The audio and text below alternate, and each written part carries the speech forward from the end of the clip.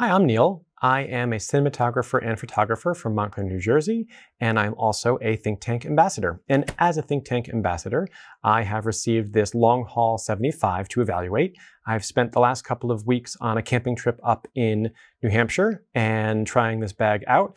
I threw, uh, we were car camping, so I threw all of my clothing uh, and my Dopp kit, my uh, toiletries kit, into this bag, and I am here to report back that it performed admirably. I really appreciate uh, the separator system inside. It allows me to keep all of my uh, clothes on one side and all of my uh, random odds and ends on the other side. And the uh, plentiful outside pockets gave me great places to keep all the things that I didn't want inside the bag, like my water bottle, uh, my uh, bug spray, my sunscreen, and then also these side pockets with their their kind of got this plastic piece built in here, which allows you to always get into them real easily.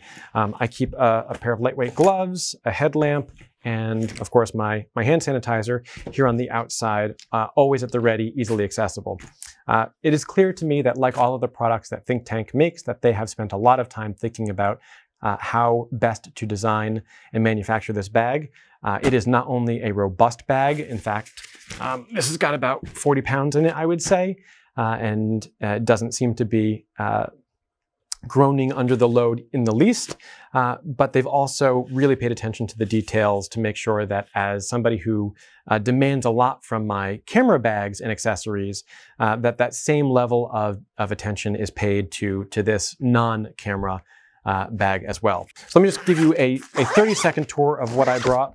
On uh, one side here, you can see I've got all of my packing cubes. I've got a whole bunch of them in here. I've got some loose clothes in here, more packing cubes. This I've got some Eagle Creek, some uh, Peak Design bags, and uh, down at the bottom there, I've got uh, some dress shirts folded up. And that's one of the things that I like quite a bit about this bag is that the size allows me to do exactly that. On, on this side, I can uh, fold up my dress shirts, put them all the way at the bottom. Um, I don't usually bring dress shirts camping, but I happen to have one uh, just in case. Uh, and then on this side, I've got my, my Dopp kit.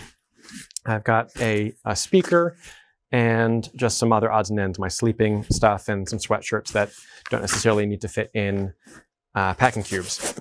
The Separators, of course, are completely movable. I won't cover that since uh, Think Tank has done a great job uh, showing you how those work. Uh, the one thing I will say is that the tabs that are used to retain the uh, dividers are an absolute innovation uh, that should be on every bag going forward. I keep the extra separators here in the bag too, just in case I need them, but these tabs right here are ingenious. They prevent the separators from separating from the bag when you are filling it and emptying it. Uh, some bags like this, especially with, with softer sidewalls, uh, when you move them around, the separators just pull off the sides and then everything is mixed together, commingled inside.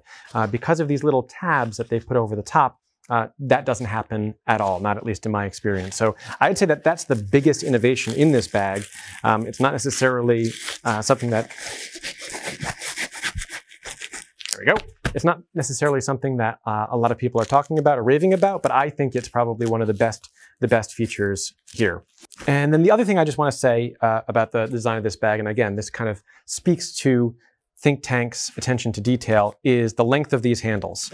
Uh, these top handles here, uh, one thing that, that other manufacturers do all the time, and I can't believe they do it, is they make these handles too short. So they're down here, and when you go to grab one handle, like this one in the back, if it's too short, you can't reach the other handle. But with Think Tank, what they've done is they've made it long enough that I can easily get to the other side of the bag and pick up both handles with one hand.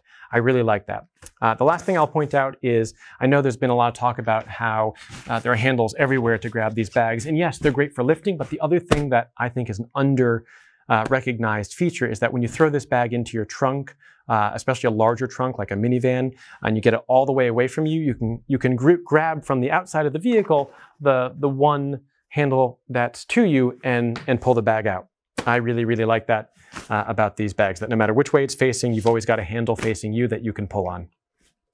Thank you very much to Think Tank for sending me this bag. I am very happy with it. I'm not just saying that because I'm an ambassador.